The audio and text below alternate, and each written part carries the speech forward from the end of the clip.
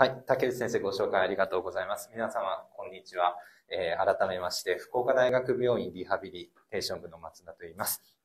私、普段リハビリはやってるんですけども、あの、健康運動指導士という資格で、えー、予防的な位置ですね。あの、まあ、グレーゾーンって言われたりとか、予防をメインとした、えー、ことを、えー、仕事にさせていただいております。で、合わせて、私自身も、あの、学位取らせていただいた田中博明教授の影響もありまして、マラソンを走るようになりました。えっ、ー、と、そもそも、あ、こういう話していいのかな。そもそも走るの大嫌いでですね。あの、もともとはスキー、スキーをメインにやってたんですけども、あ影響って怖いですね。あの、受けて走るようになり、えー、こういうとこでもお話しさせていただくようにさせ なりましたので、どうぞよろしくお願いいたします。で、本日はこういったタイトルで、ランニングに効果的なストレッチですね、えー、お話ししていきたいと思います。で、まず、いきなり初めなんですけども、ストレッチで怪我が予防できるというふうに思われている方、この中にもいらっしゃるかと思うんですけども、ストレッチを事前にたくさんして、体を柔らかくしておいた方がいいな。それは一部は合ってるんですけども、基本的な考えとして予防医学的にストレッチで怪我は予防できません。先ほど藤原先生のお話あったように、やりすぎ、使いすぎ、痛みに耐えて、っていうところで怪我が発生してきます。その怪我を、えー、発生しにくくするかっていう観点で、体は柔らかい方がいいですよ。特に肉離れとかですね。そういったことを発生させないためには柔らかい状態を保っていただいた方が結構です。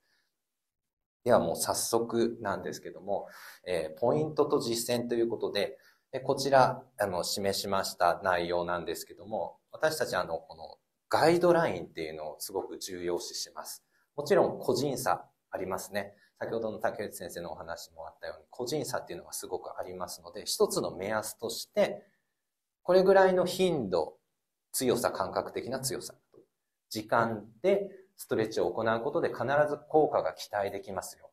95%の方は柔らかくなりますよ、ほぐれますよという内容です。頻度としては週に4日から7日。走った後だけではなく、えー、自分のこの筋肉の部位硬いなという部分に関してはこれぐらいの目安でやっていただく。で、ものすごく硬い。自分自身、体が硬いっていうふうに認識されている方はもうできるだけ毎日やってください。で、強度、強さ、どれぐらいの強さで伸ばしていくのか。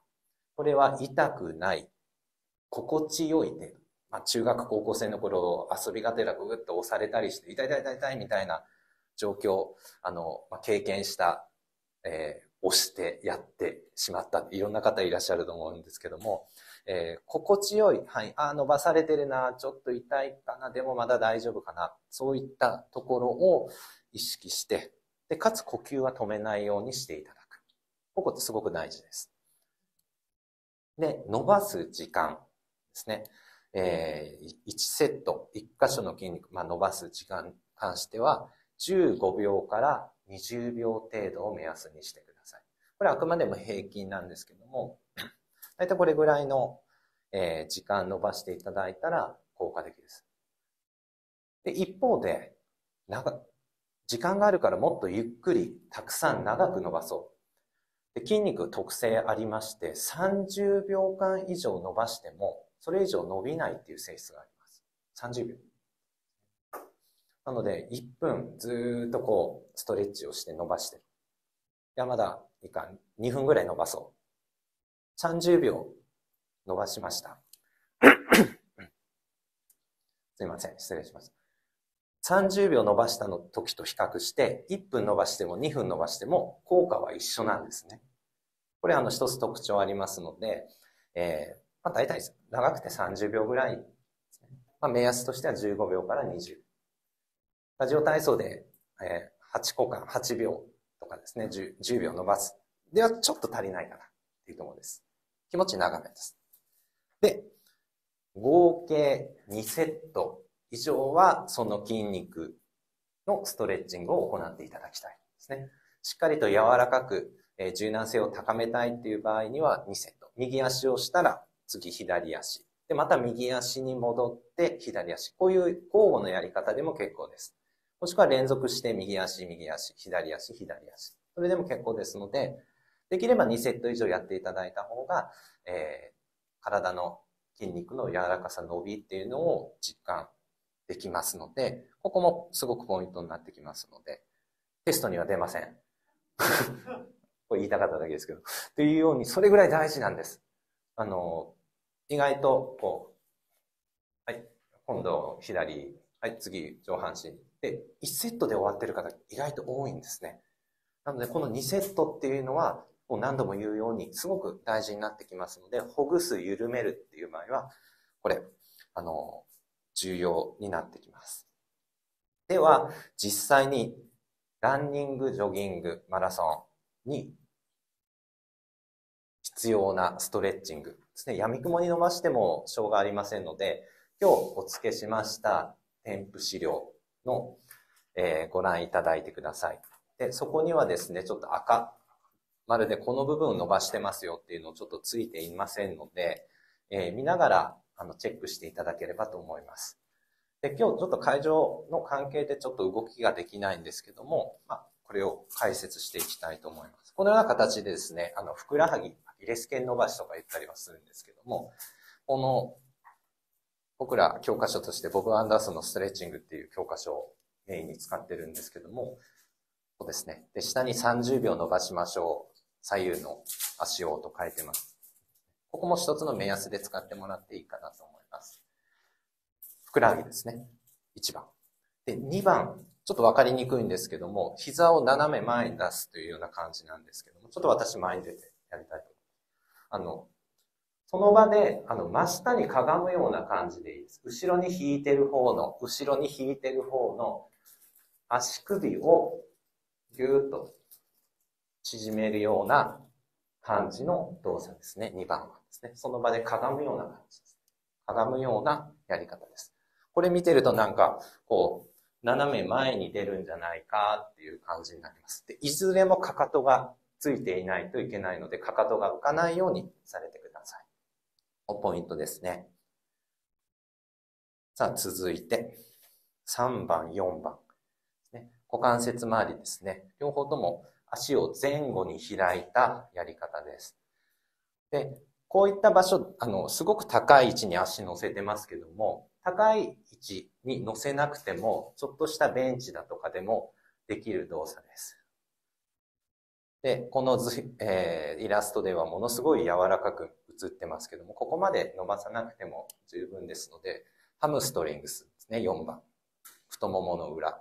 そして3番は股関節周り。前後、足開いていただいて、えー、伸ばしてください。で今度は横、えー、5番、なんか横向きに足を乗せていただいた状態で、えー、倒していくようなじですね。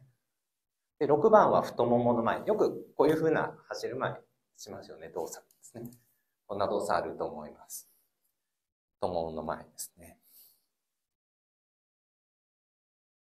で、7番、8番は、まあ、7番はこう足首もそうなんですけども、股関節周りですね。意外と股関節周り多いですね。先ほども出てきたように。ね。8番。このあたり、あの、テレビを見ながらとか、家の中でもできますね。えー、走、公園で走るときとかちょっと座らなきゃいけないんですけど、まあ、場所を選んでいただいて実施されてください。はい。続いて、9番、腰回り。上半身と下半身の動きっていうのはランニングっていうのは違うんですね。右、右足が出た時は左腕が前に出るような感じで、ツイスト動作っていうのが入ってきますので、腰回り、そして太ももも、大臀筋ですね。お尻の後ろの方の動作も9番で伸ばします。で、10番も先ほどの、あの、高い位置に足を置いて伸ばしたストレッチングに似てるんですけども、真下に腰を落とすような感じであのかがむような感じでやってみてください。真下にですね。そして、意外とやられてない上半身。上半身のストレッチ、なかなか意識的にされる方少ないんですけども、もちろんやられてる方いると思いますが、肩周り、足が動いた回数分上半身、腕も振ってます。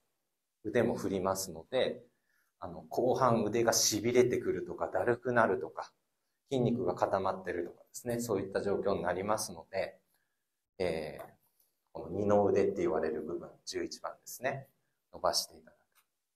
で、12番は、どこかのこう壁に、えー、手を当てていただいて、片方ずつ行っていただいてもいいです。片方ずつ。左右。交代交代ですね。えー、そのまま、えー、置いていただいたら、ぐーっとしょあのひねるような形で、この大胸筋付け根を伸ばしていただくということで、この12個をあの基本として皆さんストレッチされてください。で、硬いより柔らかい方がいいのは間違いありません。あの、怪我とか障害の予防としてですね。そして、えー、これは余談にはなるんですけども、あの、藤原先生も言われたように、膝の障害、この障害別のいろいろ統計取った結果ですね、こういうことで膝が足首、足の裏っていうふうに、やっぱ足に集中します。そして特に膝関節の、あの、炎症の発生っていうのは、過体重の影響っていう方が、ランニングの影響よりも強いですので、ちょっと体軽くしたいな、もしくは軽くすることで膝の予防もできますので、えストレッチも兼ねて怪我しないようにですね、体を柔らかく、そして体を軽くして、え楽しく走っていただければと思います。私の方からは以上です。ご清聴ありがとうございました。